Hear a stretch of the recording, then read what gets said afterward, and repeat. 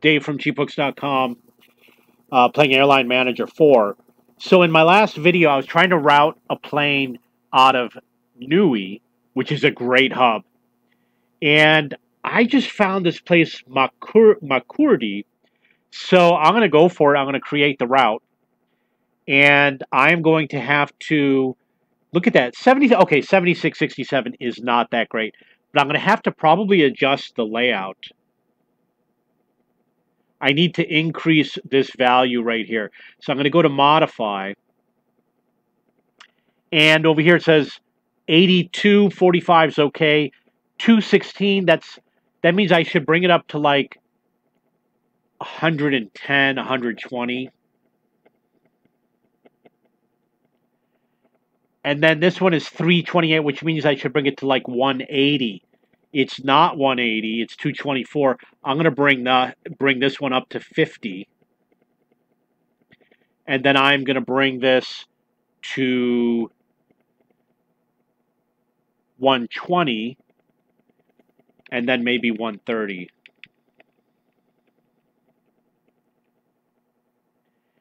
And uh, those numbers are better. I'm going to kick this up a little bit more.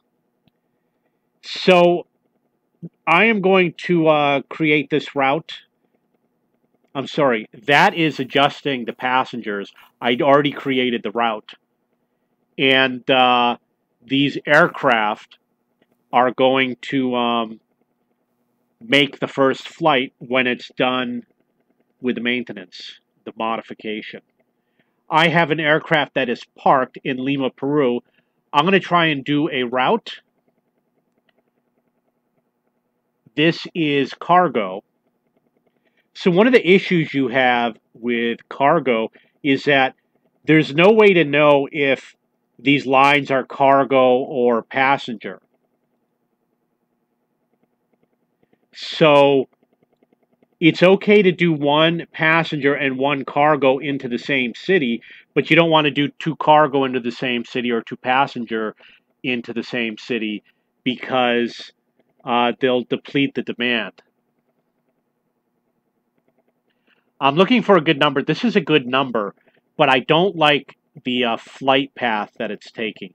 It's taking kind of a high arch. I want it to go kind of direct through Africa.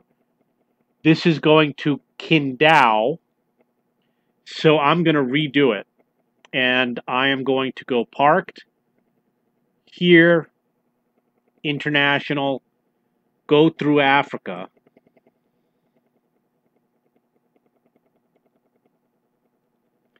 And then we'll see if we can find Qingdao, which unfortunately is probably not here.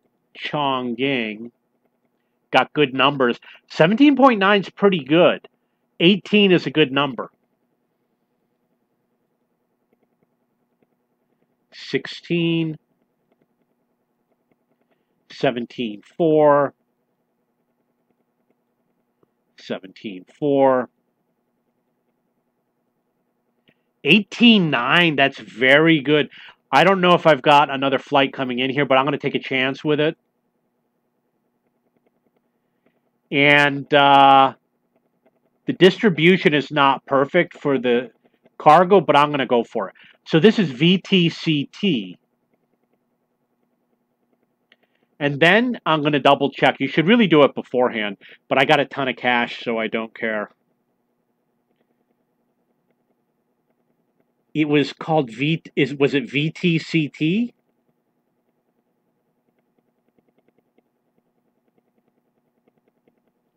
I don't see any other VTCT.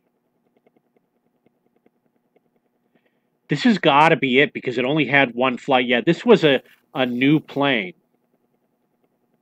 that never flew before. It's the only flight going in. It's going to make good money. 18.95.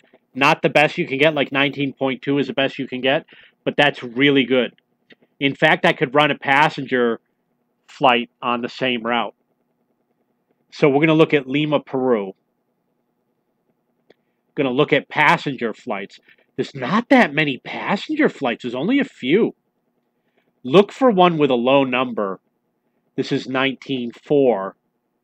It's the lowest one right here. 78 is a good number, so I'm going to leave it as it is. Good place to get hubs is kind of in this area Buenos Aires, Lima, Peru, um, Chile, maybe Bolivia. I do need to buy a new hub.